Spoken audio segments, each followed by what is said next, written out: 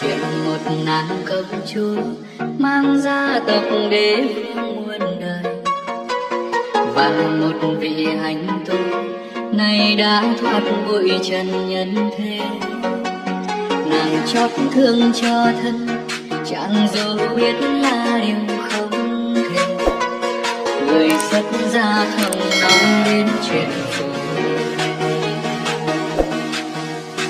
ngọc đế ơn trên măng chàng vào cung hướng nhân truyền tâm phật. Nào biết đâu lương duyên, công chúa sư đồ lại thầm thương ngày nhớ đêm ôm mong, nàng lệnh cho phá rơi để kết đôi chàng tránh duyên xin lui về nâng nhờ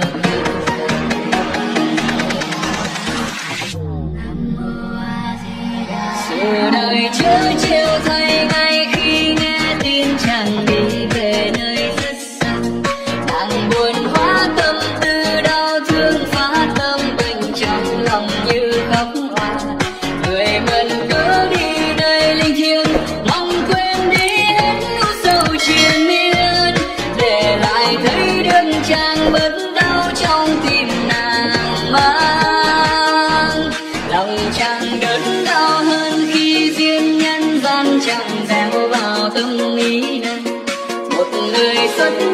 sao yêu thương những chi nàng lại là công chúa vàng.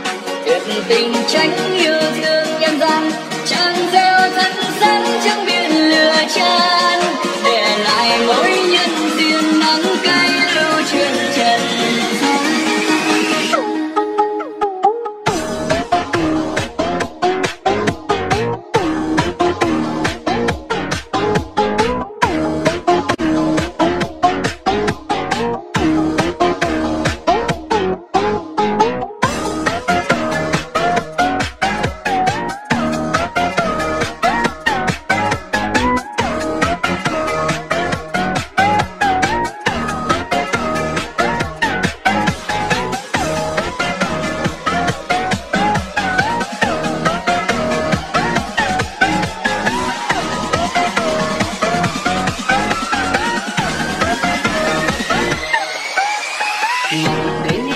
trên bóng chàng vào cung ước nhân truyền tâm phật.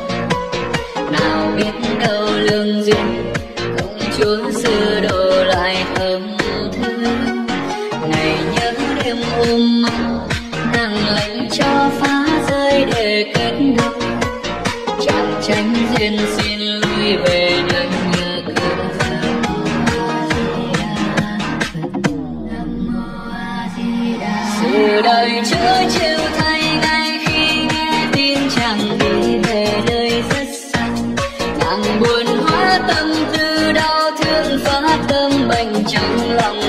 khóc òa người mượn cớ đi nơi ly thiêng mong quên đi hết nỗi sầu triền miên để lại thấy đêm trang bớt đau trong tim nàng mang lòng chàng đớn đau hơn khi duyên nhân gian chẳng dèm vào từng.